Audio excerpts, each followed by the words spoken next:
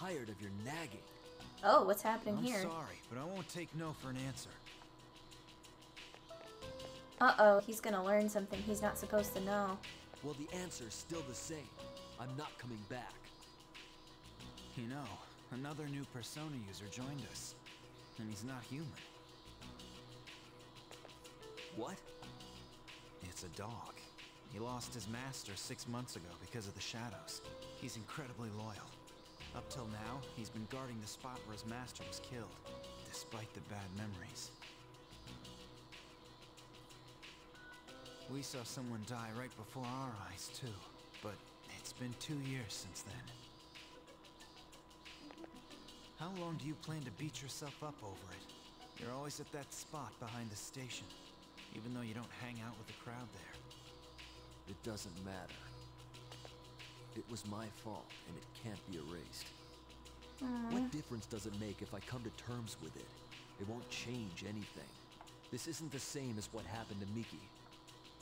Shinji, Now I'm curious as to what happened to Miki, because, like, I don't remember that aspect of the game, because, like, I've definitely gotten to the point where Shinjiro passes away. Uh, I just don't remember how or all the details behind it since it's been so long. That's enough already. I just want to forget it ever happened.